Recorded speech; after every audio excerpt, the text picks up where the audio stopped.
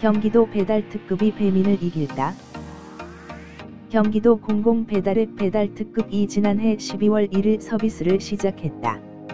4개월을 앞두고 있는 지금 배달 특급의 현황을 살펴보았다. 배달 특급 결제 수단 비중 2021년 2월 기준으로 지역 화폐가 60%를 신용카드는 25, 페이코가 7%를 차지했다. 배달 특급 회원 수 현황 20년 12월엔 10만 9천 명으로 21년 1월과 2월을 비교했을 때 가장 높았다. 배달 특급 2차 서비스 일정 및 지역 2차 서비스 지역 중에는 2분기와 3분기의 일정 시기에 가장 많이 증가했다.